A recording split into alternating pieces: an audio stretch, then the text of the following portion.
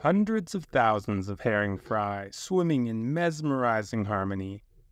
Herring are a foundation of life and culture on the South Island.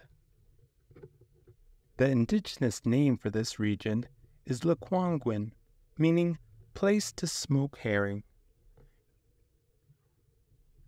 Herring provide nourishment for all sorts of creatures, including salmon, sea lions, and one of the world's largest congregations of humpback whales.